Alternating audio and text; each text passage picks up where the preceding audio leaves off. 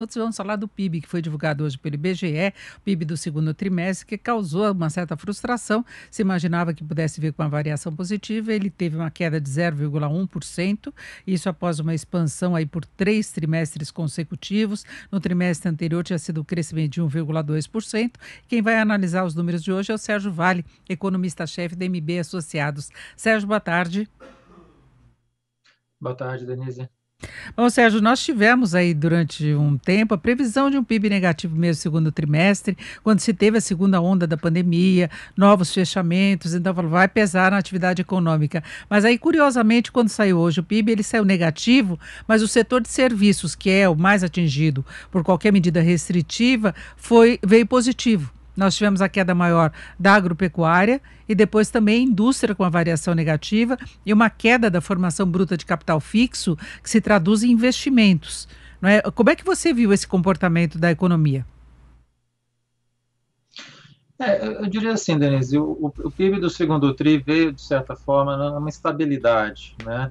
É, se cai 0,1 ou subir 0,2, 0,4, como parte do mercado estava esperando, é próximo de zero estatisticamente, digamos assim. Então havia uma ideia de um crescimento de PIB próximo de zero uh, uh, no segundo trimestre, que é o que acabou acontecendo. Né? A, a, divisão setorial acho que também foi bastante razoável com o que se imaginava. Serviços com recuperação um pouco melhor, né? a pandemia não estava afetando intensamente uh, não afetou intensamente a atividade em março e abril, como a gente imaginava, apesar da, da, variante, eh, naquele momento, a pandemia está muito agressiva. Né? A indústria, a gente via de fato de lado, acabou aparecendo isso nos dados que são analisados, e a agricultura era a grande decepção do trimestre, é, de forma esperada, por conta da, das quebras que a gente viu nas produções, especificamente de milho, que tem um peso muito grande no segundo trimestre, é algodão e café. É milho, um peso bastante forte, com a quebra que teve por conta da seca uh, as regiões de, produtoras da segunda safra. Então, setorialmente veio dentro do que se imaginava, na margem também veio relativamente dentro do que se imaginava. Então, apesar de ter sido negativo, eu diria que não foi tanto uma surpresa, né? não foi tão distoante em relação ao que se imaginava ah, agora, Sérgio, independentemente dessa variação do PIB no segundo trimestre, a gente já tem visto aí nas últimas semanas uma piora das projeções do mercado financeiro, de acordo com o relatório Focus, análises também de várias consultorias, de instituições financeiras, revendo para baixo a projeção do PIB deste ano e também do ano que vem. Do ano que vem está na faixa dos 2%, neste ano em torno de 5%. São variações muito pequenas nessas projeções, mas têm ocorrido porque nós temos fatores de incerteza. Aí, juntando com esse PIB do segundo trimestre, o que você acha que dá para a gente esperar? Porque tem questão da crise de energia, tem aumento de preços, perda do poder de compra da população, aumento dos juros, clima político, tem uma relação enorme de coisas dando dor de cabeça, não é? Pois é, Denise, é isso mesmo. A gente está vendo um cenário agora que traz muita preocupação para o segundo semestre. É, o mercado, de fato, está desacelerando as projeções para esse ano. Né? Muita gente estava com 5,5%, 6%, está revisando para baixo. A gente na MB tinha uma preocupação grande com, com essa aceleração da inflação, especialmente com a energia, que a gente via um impacto relevante acontecer agora no segundo semestre. A gente está bastante tempo esperando um crescimento abaixo de 5% esse ano, de 4,7%. Agora, a gente está entrando em setembro, né, o 2021 está indo para o seu fim, a questão toda relevante agora, de fato, é 2022. E, de novo, aqui, infelizmente, as revisões também são para baixo. Né? O mercado está em torno de 2, a gente está com 1,4, uh, e tem um cenário que é de inflação acelerada, com IPCA, que por conta dos riscos que a gente tem, deve terminar o ano acima de 8%, e ano que vem quase 5%, é, fazendo com que o Banco Central tenha que subir juros com muito mais intensidade. A Selic, a nossa expectativa vai terminar esse ano em 8,5%, para tentar conter essas expectativas de inflação ano que vem. E a crise hídrica, quer dizer, ela, ela acontece agora, mas ela tem, infelizmente, chance de se estender para o ano que vem. A gente não sabe se os reservatórios vão conseguir ser postos, se vai ter chuva suficiente para isso. É, consumo de energia ainda está muito forte, os sinais que o governo deveria dar em relação à contenção de demanda não estão acontecendo como se imaginaria, como se a gente gostaria que acontecesse.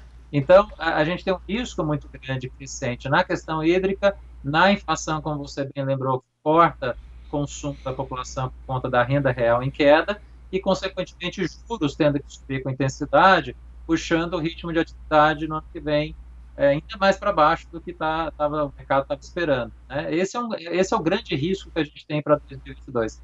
E se junta essa situação política muito instável que a gente tem agora, né, com as dificuldades em Brasília em relação ao que, que vai ser o comportamento do governo em relação às reformas, que está cada vez mais difícil a gente conseguir ver essas reformas, as boas reformas avançarem, você não tem muito tempo hábil para isso, com a eleição se aproximando.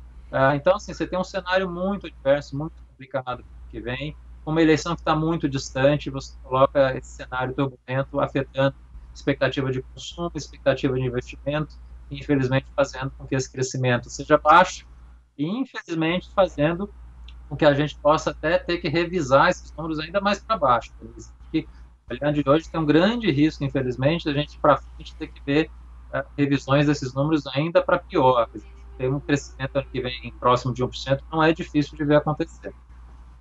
Agora, Sérgio, só para nós finalizarmos, o governo aposta muito em alguns avanços regulatórios que ocorreram, como o marco do gás, a, vai entrar o 5G, a privatização da Eletrobras, concessões na área de infraestrutura, especialmente de transporte. Você acha que tudo isso consegue alavancar um investimento que possa fazer diferença no comportamento geral da economia? Só para fecharmos. É, não tenho dúvida que esses sinais são positivos. Né? As coisas que foram feitas na parte microeconômica, né? lei de falências, lei de independência do Banco Central, lei de saneamento, novo marco do gás, as concessões que estão acontecendo, ainda vão acontecer esse semestre, tendem a acontecer ainda no primeiro semestre do ano que vem, boas concessões. Quer dizer, você traz uma perspectiva positiva para o longo prazo, não tenha dúvida. Né? Mas, assim, a, a parte microeconômica para funcionar adequadamente, porque você está falando de horizontes muito longos para as empresas investirem, você tem que estar tá com o presente, com a situação macroeconômica muito bem encaminhada. Porque se você não sabe o que, que vai ser inflação, o que, que vai ser taxa de juros, o que, que vai ser crescimento, você vai ter dificuldade de fazer um bom caminho de investimento nessa economia que está muito instável. Então, o que a gente pede do governo é precisa continuar essa trajetória microeconômica saudável que tem sido feita nos últimos anos, mas precisa ter um cuidado, uma atenção muito grande com a parte macroeconômica. E essa que a gente está tendo dificuldade. Né? A inflação está elevada, juros têm que subir por conta disso, a política fiscal não está totalmente controlada. A gente viu ontem com o projeto de lei orçamentário, né, com dificuldades muito grandes com os parâmetros que o governo coloca, muito irrealistas. Então, assim, tem um cenário do ponto de vista macroeconômico que não está indo nada bem, apesar do micro ter evoluções positivas. Né? Só que para o micro funcionar adequadamente, o macro estar bem estabelecido. E é essa a dificuldade que a gente tem hoje. É isso, nós ouvimos o Sérgio Vale, que é economista-chefe do MB Associado. Sérgio, muito obrigado, uma boa tarde. Boa tarde, Denise.